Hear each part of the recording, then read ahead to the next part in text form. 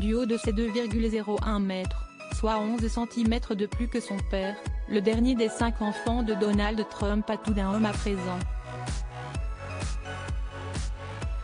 Loin de l'image de petit garçon qu'il véhiculait lorsque son père a été élu président des États-Unis en 2016, alors qu'il avait 10 ans, Baron Trump a fait une apparition ce mercredi 14 juin qui n'est pas passé inaperçu. Le jeune étudiant a quitté la Trump Tower de New York, en boitant le pas à sa mère, un ancien mannequin sloveno-américain. Pour l'occasion, le demi-frère d'Ivanka, Eric, Tiffany et Donald Jr. arboraient un costume bleu, ouvert sur une chemise blanche. Quant à l'ancienne première dame, elle portait une robe blanche boutonnée de la marque Gucci, agrémentée d'une ceinture également signée de la griffe florentine.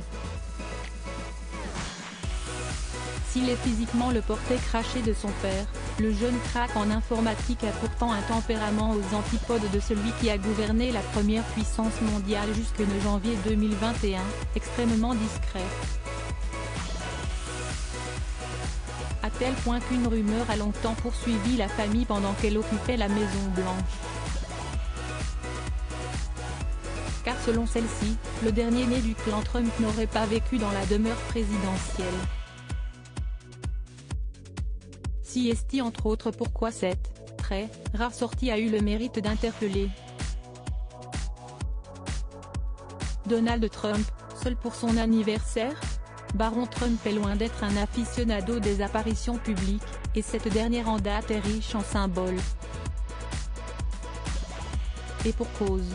Ce 14 juin marquait le 77e anniversaire de son père, qui se trouvait alors sur son practice de Bedminster dans le New Jersey, tandis que son épouse et son fils s'apprêtaient à quitter la grosse pomme, chargée de valises Louis Vuitton. De quoi se demander si la famille avait l'intention de se réunir pour célébrer l'événement. Si la rumeur affirme qu'il y a de l'eau dans le gaz entre les époux, si est aussi parce que le prédécesseur de Joe Biden fait à nouveau face à un procès comportant 37 chefs d'accusation à son encontre, dans l'affaire de sa gestion négligente de secrets d'État après son départ de la Maison Blanche.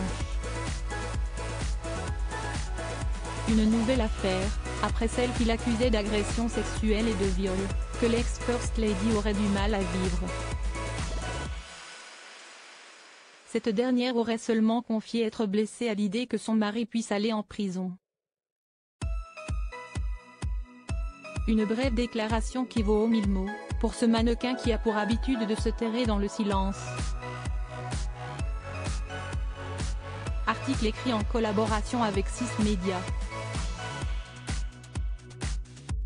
Crédit photo, Zoom Presse.